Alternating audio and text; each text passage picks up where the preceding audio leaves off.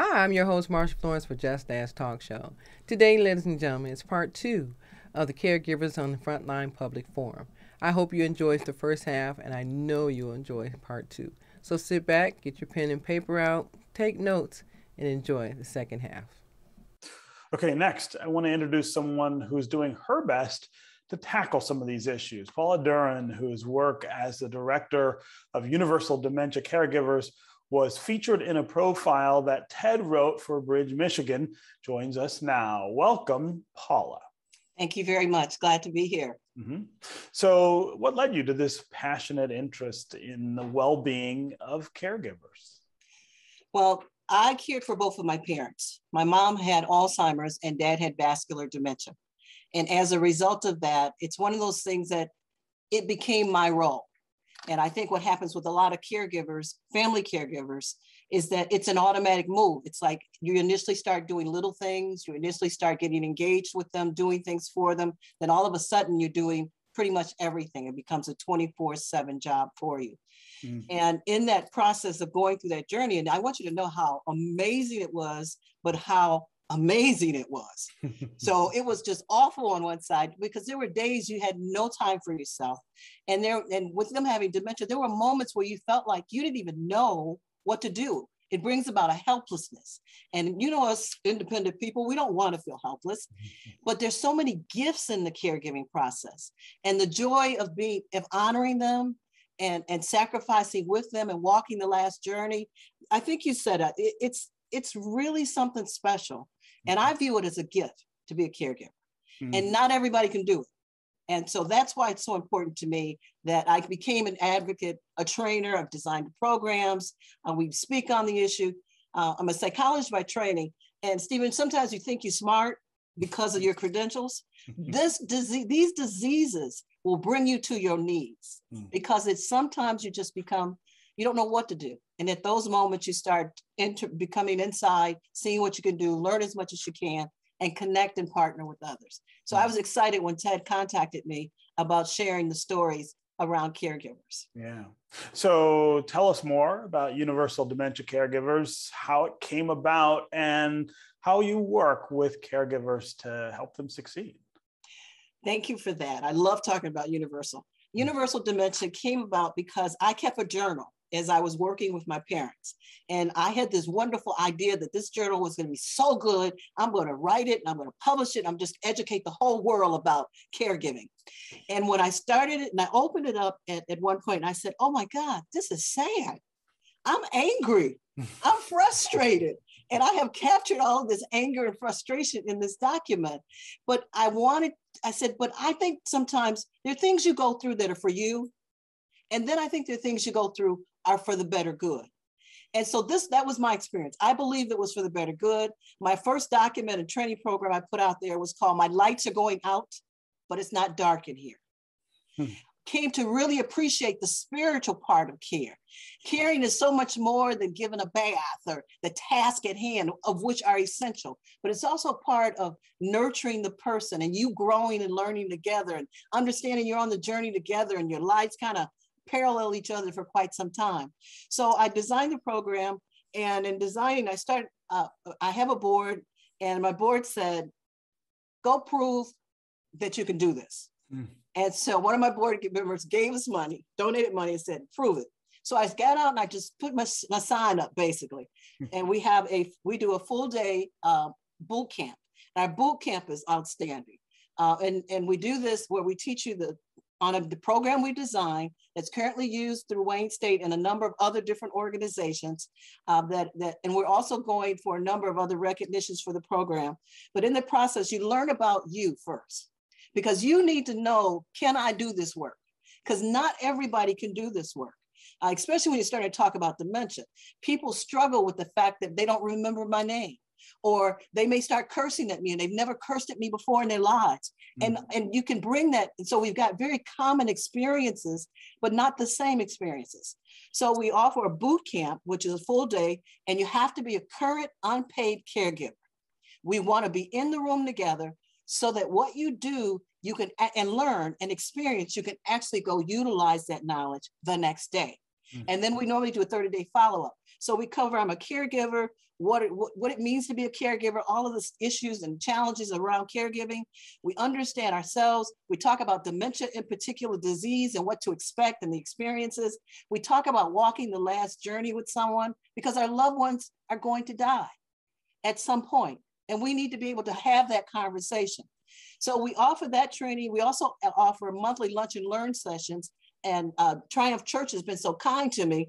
Uh, Triumph Church allows us to give to do our monthly lunch and learns there. So we're partially virtual right now and partially in person. And so once a month we do a lunch and learn on a topic related to caregivers that's relevant. Uh, a, a, a, helpful plug, the 29th of September, we're doing one. Um, so then in addition to that, we do online we do a support group online because not everybody's comfortable yet coming into a closed space. Uh, so we do the support group and uh, interesting today, we had a woman in our group, first time at the group. And what she said was, I don't know what to do. Mm. And there were caregivers online that just loved on her, that cared for her, that appreciated her, that understood her. Um, so we do that, and we do an exercise program online because something someone said earlier: self-care is you've got to care for yourself you can become so consumed with making sure that your loved one gets to the doctor, then you forget you need to go to the doctor. Mm-hmm. You're preparing this wonderful meal for, for your loved one, and you eat whatever's left. Too many caregivers die before the loved one they're serving. So those are the kinds of things. We also will do family mediation discussions. So people will call us in when the family's in conflict um, in order to work through some issues so that it's all focused on the loved one with mm-hmm. living with dementia. So those are some of the services and how we got there. So I wonder, uh, since you've been doing this, if there are some needs that you've identified as more common or more critical for caregivers uh, than others. What what is it that you're learning, I guess, about what caregivers need uh, through Universal? And we've been capturing this data. Um, what we found is that number one, people need to well, skip the number the person needs to have the right documents mm. to be able to serve. Mm. So, because I'm a family caregiver, I never think about the fact that I might need a power of attorney, or I might need a, uh, a will needs to be established, or my loved one doesn't have any documents that tell me anything about how they want to be cared for. So that's a big one. And one of the things we do is we invite attorneys in to talk about that stuff so people can ask their questions. Uh, another common one is people become so selfless that we have to boost them up to say, you matter. If you're not alive to take care of your caregiver, your, mom, your loved one, your mom, your dad, your sibling, who's going to do it? Because the work is, is, is overwhelming. It's a 24 seven experience that you have to learn to manage yourself. Mm. So in addition to self-care, the legal stuff, people need to learn how, the big, big issue, self-manage. That is, we think we can control the world. We think we can make somebody do something. We think we're going to tell our parent what to do and they just going to jump and do it. First of all, even if they don't have dementia, they don't want you trying to tell them what to do. Teaching them how to engage a loved one living with disease of any kind is essential. But honoring them enough to work with them and move and have that con- have the conversations ongoing are very important. So that piece of understanding your loved one and the needs of your loved one are essential. Caregivers need to also feel empowered. They don't realize sometimes that when they go take their loved one to the doctor, you're the best advocate for them. But somehow we get into these doctor settings, I put doctors in quotes, and we think that they, they are all knowing. I'm there with the person 24 7. I see some things, I may not know what it means. It is essential that I, I become a voice. And so sometimes you just have to encourage people that you are valued, you are important, you need to feel empowered. And I even we even train them say, here's some key questions to ask the doctor.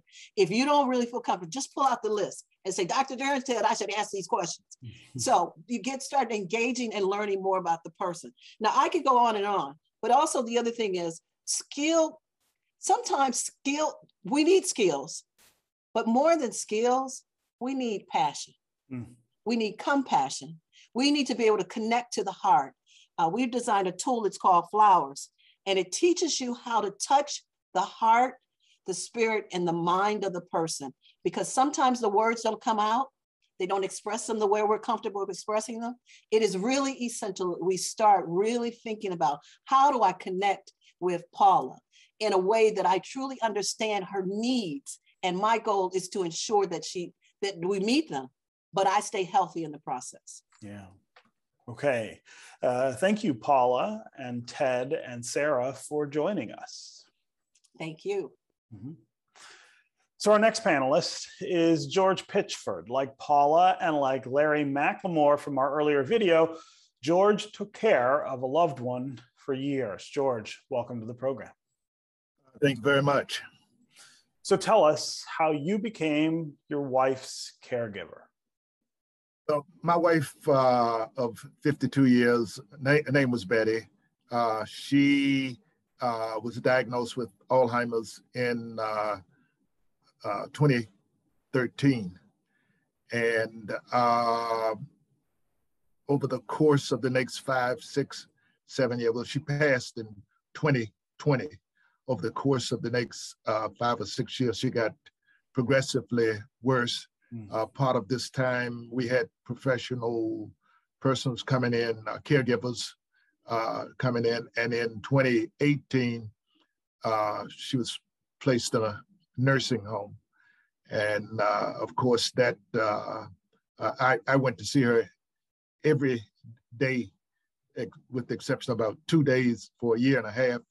Then, of course, the pandemic hit, and uh, we I could not go to go to see her. But that was sort of the course. And uh, if I could mention, you know, one of the things that made this so traumatic, I'd like to just add a little context here. My wife was really a spirited person and to watch her morph from a person who was uh, director of special ed in the Pontiac uh, educate school system mm. and who had was a trained clown, uh, was a person who taught quilting and sewing, who engaged in calligraphy and was an avid reader. To watch her over that course of uh, that period of time, just drift into a person that uh, barely knew me was quite traumatic. Yeah, yeah, yeah. I'm really sorry about uh, about all of that. Um, but it sounds like uh, over time, even though it might have taken a while, you figured out how to navigate the system and to make sure that your wife was getting the services uh, that she needed. Can you tell us about that process of getting to the place where you felt like she was well taken care of? Well, first thing, as I'm listening to the panelists t- tonight. I wish I had known about uh, Mr. Tifford and Miss uh, Coleman Betts uh, beforehand mm-hmm. because it was quite a laborious task to navigate through this if you are not uh, up on how the system really works. And I wasn't. Uh, I first went to a neurologist who diag- made the diagnosis in 2013. And this may sound unbelievable, but perhaps some of the professionals know about this. But the neurologist had no idea hmm. where to direct me to. And so I sort of did by happenstance, started asking people and looking on the internet, came upon the Alzheimer's Association and, and did finally get in touch with support groups and that kind of thing. But uh, it was a difficult path getting to that point but I did start to uh, get into this, a little little bit better as I became uh, familiar with the disease itself. That was through books, but I, I, have nothing but praise for the Alzheimer's Association and their support groups because I learned so much about. And I was listening to Dr. Duren, and uh, well, let me tell you, she's dead on point there. How I had to learn to get into my wife's space because she no longer could come to mine. Mm. And I figured out real early in the game that uh, if there's going to be any peace and if I can be of any help to her, I'm going to have to uh, go to her where she is because she was no longer able to to come up to where I was. In other words, I, I, a little affirmation I, I always use: never try to infuse logic into a situation that's not based on logic. That logic is out the door. And so, you know, it was nothing short of a blessing to come upon uh, the support groups that sort of walked me through the fact that, okay, you can forget the person that used to be there, and you have to learn to deflect and to uh, not make a big thing out of uh, some of the things that she's going to say and some of the things she's going to do. Mm-hmm. Yeah, that period of adjustment and just kind of reframing, I think, uh, the entire way you think of the relationship you have uh, with this person uh, is a is a really critical part of uh, of adjusting to that that caregiver. Absolutely, yeah. absolutely. Um, so, what are some of the big takeaways that you discovered that you would want to share with fellow caregivers? What are some of the things you know now that you would say to somebody who's at the beginning of this process? Well, you know, I could refer them to groups that I didn't know about. That would be the first thing. But you know, something that's a touch spiritual to me, I came across the other day. And uh, as Dr. Duren also was saying, uh, this is something a little bit greater than just the day to day. I take care of you and hope that you get through the day. There's something a little bit deeper than that. Mm. And I think this is uh, this little thing I came across that I wrote shortly after she passed, which said, uh, work to build good thoughts and memories. Mm. It is almost inevitable that one soulmate will lead the other one mm. with just thoughts and memories.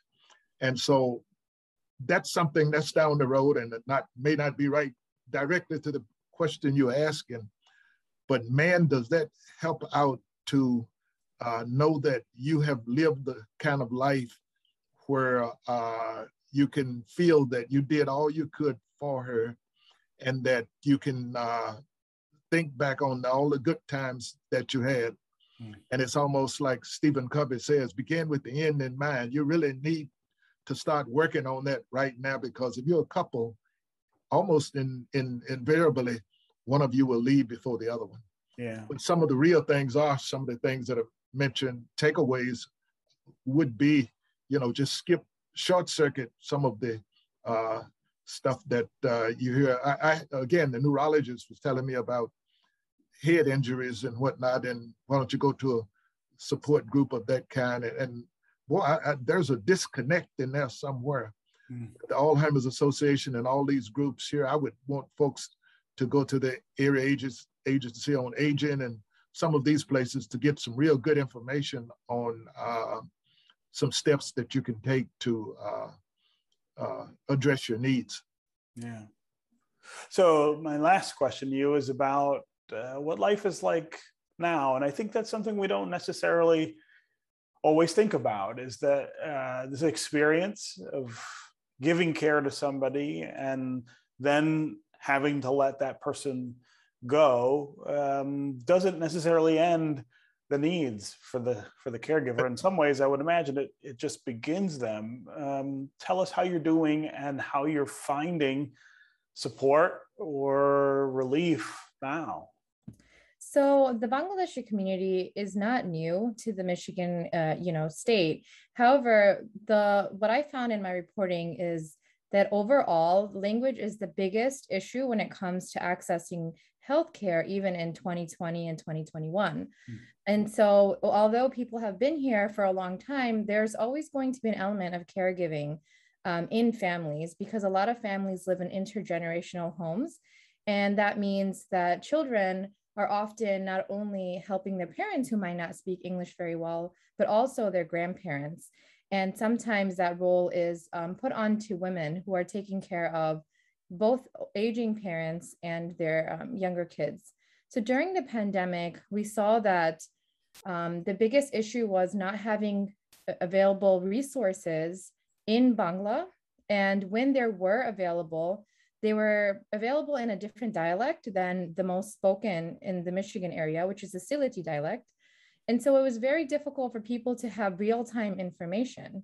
As we know, the CDC put out information, uh, you know, as soon as it was available, but it wasn't always translated just as quickly. So in the absence of that, uh, people relied on asking family members for information, WhatsApp groups, um, Facebook posts, and had to really hash out what made sense, what to believe, and um, how to trust that information. So uh, the pandemic, of course, presented additional problems when it came to delivering this adequate health care. Uh, what solutions did people come up uh, to serve and safeguard seniors in uh, that Bangladeshi community?